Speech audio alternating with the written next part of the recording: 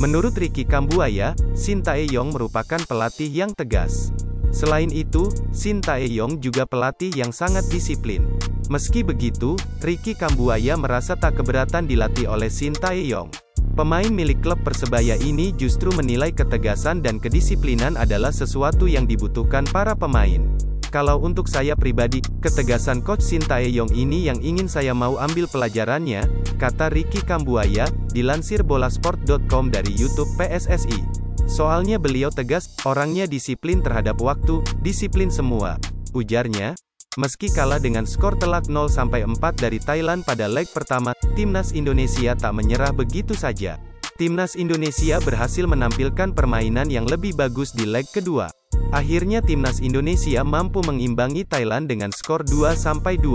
Kala itu, salah satu gol timnas Indonesia ke gawang Thailand dicetak oleh Ricky Kambuaya.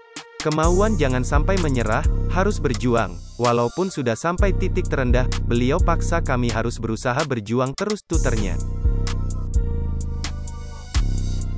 Terima kasih sudah menonton. Silahkan subscribe, like, dan jangan lupa komen di bawah ya bola spotter.